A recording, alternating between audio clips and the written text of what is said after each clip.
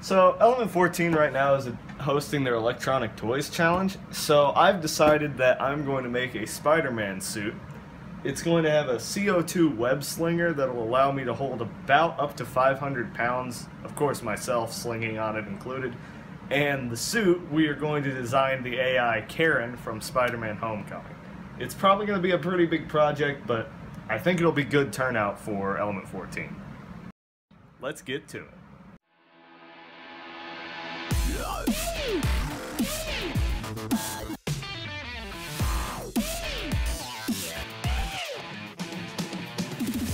Alright, let's make this suit.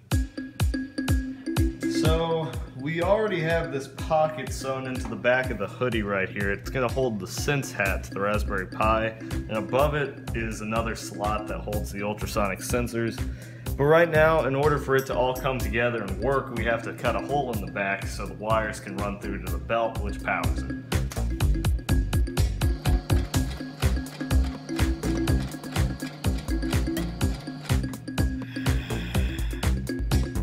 Alright, so now we're gonna go ahead and cut the vinyl off for the shirt on the suit.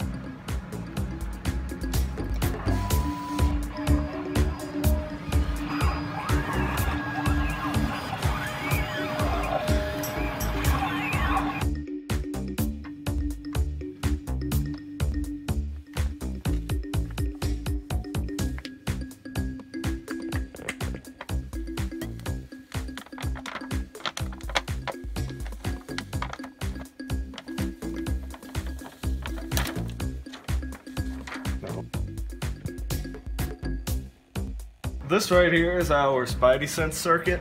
It's pretty important because without the voltage divider and the transistor on it, the Pi would have fried, which is, you know, not very good for the suit.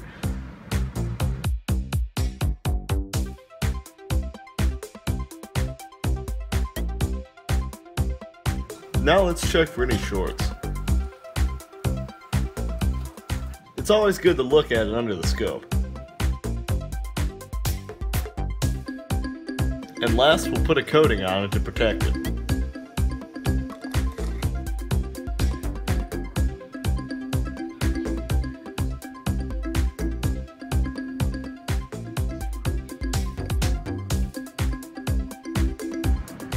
In order to write the AI for Karen, we use Microsoft Azure's image diagnosis software and I'm telling you, it is amazing how short the code really is to actually be able to diagnose and tell images what it sees in an image back in an earpiece in my ear under the mask.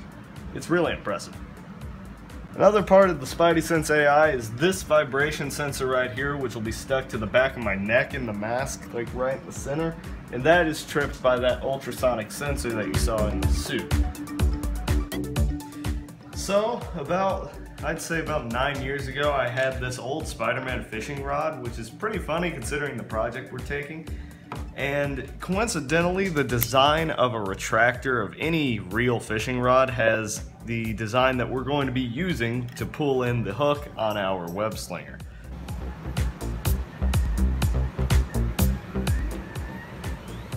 So right here we've got probably the third test of the mobile web slinger port We've got the plastic hook on it with no weight attached, so it's going to be lobbing pretty far.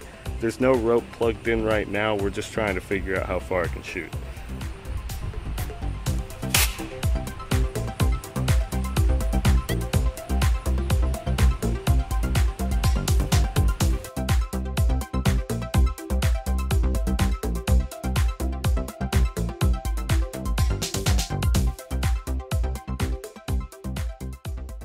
So, in the final days of the project, we've made a lot of adjustments that should have been done a long time ago, but we ended up getting around to them just now.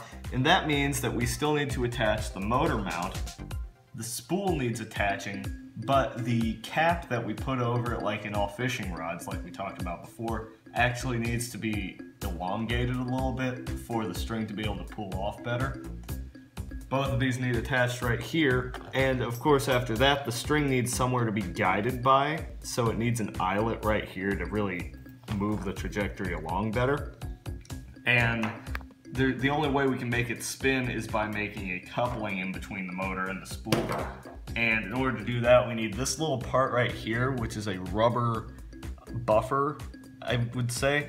They use it in a lot of industrial couplings, and it reduces a lot of strain on the turning motion of it and prevents the pieces from fracturing entirely. It's a pretty important part, and we really need to design it well to fit like precisely with these two in order for it to actually retract.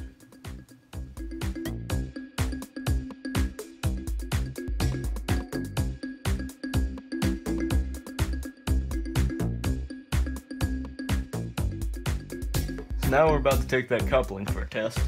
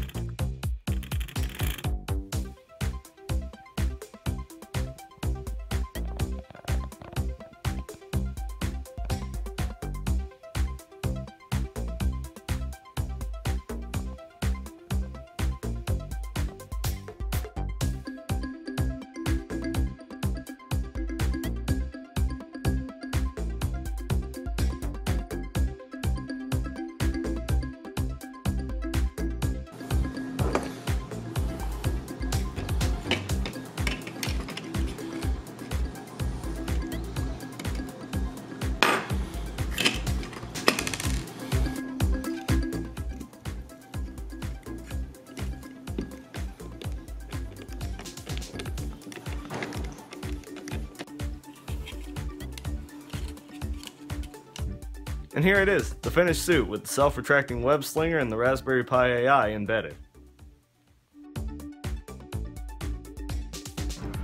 You can get all the schematics, code, and 3D printed parts on my blog on Element 14.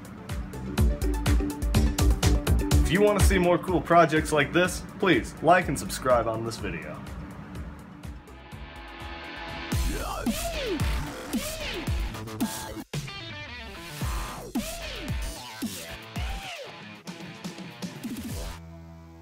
It's a wrap.